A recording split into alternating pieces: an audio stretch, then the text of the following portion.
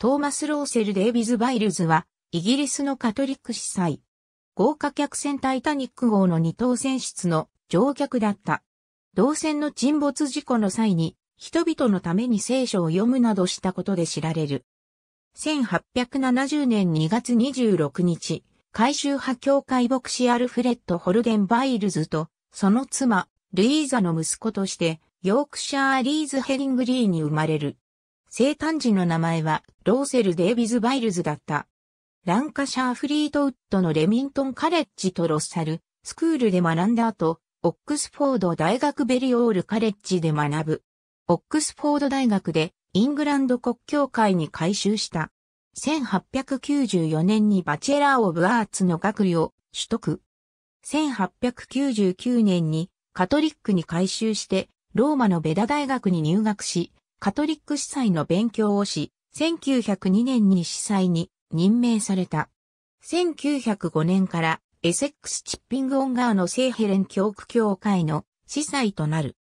ニューヨークでゴム事業を営んでいる弟、ウィリアムの結婚式の司祭を務めるため、1912年4月10日にサウサンプトン港からニューヨークへの処女航海に出る豪華客船タイタニック号に二等船出場客として乗船した。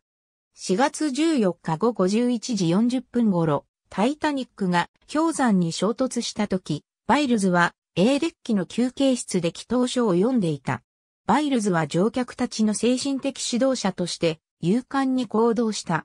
まず三等乗客のところへ降りていき、彼らのパニックを鎮めるべく祝福を与えたり、告解を聞いたりした。その後、三等乗客がボートデッキに上がるのを手伝った。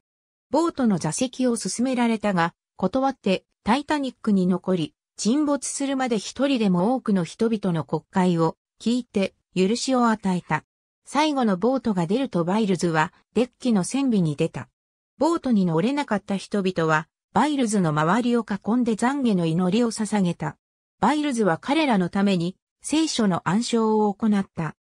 タイタニックの最後の瞬間である4月15日午前2時20分頃、祈りを捧げていた人々に許しを与え、素晴らしいマリア様、慈悲に溢れた、主は共に増します。罪人なる我らのために祈りたまえ、今も、死の時も。アーメンと唱えながら、タイタニックと共に海に消えていった。